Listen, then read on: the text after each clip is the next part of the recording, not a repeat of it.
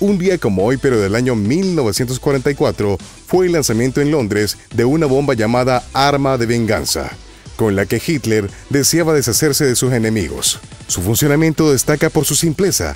Básicamente es un cilindro hueco en cuyo extremo delantero se encontraron unas láminas que actuaban como válvulas.